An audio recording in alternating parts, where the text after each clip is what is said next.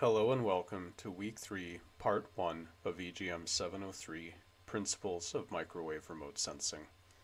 In this lesson, we'll learn about a portion of the electromagnetic spectrum that we haven't really worked with before, the microwave spectrum. Through the rest of this week, we'll cover microwave interaction with the atmosphere and Earth's surface, and start talking about active remote sensing in the form of radar. There's also a supplemental lesson on complex numbers. It's there as an introduction in case you haven't worked with complex numbers before, as they really are quite useful when working with microwave remote sensing generally and synthetic aperture radar in particular. Up until now, we've focused our attention on visible and infrared wavelengths between roughly 400 nanometers and about 35,000 nanometers. For microwave remote sensing, we're going to be looking at the portion of the electromagnetic spectrum with wavelengths ranging from about 1 millimeter to 1 meter. In the literature especially, you may see frequency discussed more often than wavelength. Microwaves have a frequency ranging from about 300 gigahertz at the high end up to about 300 megahertz at the low end. Now remember, 1 hertz is just one cycle per second, so even the slower frequencies are very high. 1 megahertz is 1 million cycles per second. Finally, similar to what we've seen for the visible and infrared portions of the electromagnetic spectrum, the microwave spectrum can also be divided up into different bands or regions corresponding to similar enough properties. And we'll see this a bit more next week when we talk about applications of radar remote sensing. So we've seen this slide already when we discussed thermal remote sensing, but I wanted to show it again to highlight the phase or partial wavelength. For the different forms of passive remote sensing that we've covered up until now, we've mostly ignored this aspect of electromagnetic radiation. When we discuss active microwave remote sensing, such as radar and synthetic aperture radar, however, this is going to become important because it contains information about how far away the target or object that we're observing is from the sensor. Light is a transverse wave that is, the electric and magnetic components of the wave, oscillate per perpendicular to the direction of motion. We can therefore define or specify an orientation for this oscillation, which we call the polarization of the wave. By convention, we normally define the polarization using the electric component of the wave. So in this top example, the wave is vertically polarized. The electric field is oriented along the x-axis in the xz plane. In the second example, the electric field is still propagating along the x-axis, but it is oscillating in the xy plane. We would say that this is horizontally polarized. Light can be polarized at any arbitrary angle. It can even have a circular or elliptical polarization where the plane is rotating around the direction of motion. And just as a side note, the fact that electromagnetic waves have a polarization is something that we frequently use in microwave and radar remote sensing. Because of this, we can actually construct filters that will only allow through light at a specified polarization. This is especially useful again for radar remote sensing, where the polarization of the signal partly determines what we actually see with the signal. We can also use this to create glare-reducing polarized sunglasses or even 3D glasses for watching movies. We can also combine or add together waves. You might also see this combination referred to as superposition or interference. If you've ever thrown multiple stones or pebbles into a body of water, you've actually seen this in action. Mathematically, we write this as a simple addition. The combined wave, psi, is just the addition of psi 1 and psi 2, shown here.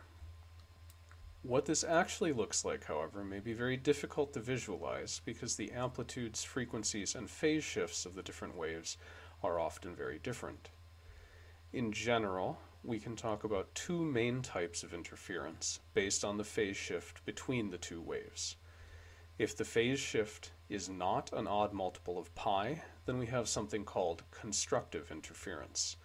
the waves add together in a way that increases the overall amplitude of the wave. The example here, with a phase shift of zero between the wave on top and the wave on the bottom, shows how this works.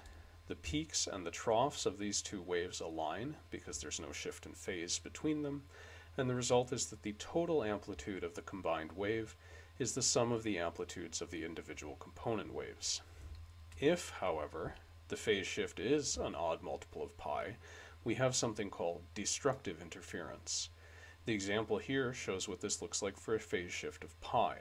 The troughs of the first wave align with the peaks of the second wave, with the result being that the two waves completely cancel each other out. The combined wave has an amplitude of zero. Of course, most of our examples won't be quite this simple, which is where complex numbers can be very useful. Because we can express electromagnetic waves as a complex number, and because we can express complex numbers as vectors, the combination of waves is just vector addition, which is usually a bit easier to visualize than trying to add together sines and cosines. So, let's say that we have a wave, psi 1, which we can describe as a vector with a real part and an imaginary part. And as a side note, if this is all Greek to you, I encourage you to watch the supplemental lesson on complex numbers, which will hopefully help clear things up. Let's say we have a second wave, psi 2, which is also a vector that has a real and an imaginary part. The sum of these two waves, which we called psi on the previous slide, is just the sum of the vector representations of the two component waves. Again, this way of thinking about waves as being complex vectors is mostly a technique to make the math and the visualization less complicated. The last topic that we'll cover in this first lesson is coherence. If the phase differences between two vectors or two waves are constant over time, then we say that those waves or those vectors are coherent. Because we can treat time-varying signals as a vector that rotates in time. Again, see the supplemental lesson for more detail here. This means that the angular frequencies of these two vectors, or the frequencies of the two waves, are the same. This also means that we can treat them as stationary vectors. Because the differences aren't changing in time, we can add them together without worrying about what time we're actually observing. So for example, if we have a number of different vectors, we can add them together like we showed on the previous slide. We start with this first vector here, we add a second vector, and a third, and a fourth, and a fifth, and a sixth, and that's probably enough for now. So the resulting vector, or wave, is just is still just the sum of all of these different vectors. And we'll see this more when we talk about synthetic aperture radar later this week. Another way to think about coherence is that it's like a measure of predictability. If we have high coherence, that means that the phase difference between the two vectors or the two images is constant, and we can predict the result of interference by adding these two vectors together. If, on the other hand, we have low coherence, that means we have a changing phase difference and it's less predictable because it depends on time. One way to measure coherence is by using cross-correlation, usually done over a small window around a pixel in an image. For radar applications in particular, high coherence between images acquired at different times tells us that the surface is not changing very much, and this also helps us apply a number of techniques that we'll cover next week. In this lesson, we've recapped how electromagnetic radiation is a self-propagating wave, and we'll explain what we mean by this a bit more in the next lesson. We saw how we can combine or interfere different waves and how this can be easier to visualize if we think about waves as complex numbers. Finally, we've covered how life is much easier when the phase difference between waves is constant over time, a property known as coherence. You can read more about the topics we've discussed here in the textbooks, Lillesand, Kiefer, and Chipman, Chapter 6.6. I've included a link to a video that pro provides a great, non-mathy explanation of Maxwell's equations, which are the fundamental equations that underpin the theory of electromagnetism, which is what has allowed for the development of electronics, remote sensing, and a whole host of other things. I've also included a link to a good video that talks about the polarization of light. It provides a little bit more detail than we go into here, but it does help explain why things like polarized sunglasses or 3D movies work the way they do. There's also a link to the course material for GEOS 657 at the University of Alaska Fairbanks, put together by Dr. Franz Meyer. The material in that course, of course, is significantly more detailed than we're able to get through in two weeks. But if this is a topic that interests you, I very much recommend it, and it's a great resource to have online. Finally, I've included a link to a short article titled Grand Challenges in Microwave Remote Sensing, which provides an overview of both the state of the field of microwave remote sensing, as well as some of the challenges that we still face. That's all for this lesson. I hope you found it interesting, and if you have any questions, please don't hesitate to email me or post in the discussion forum on Blackboard. Bye!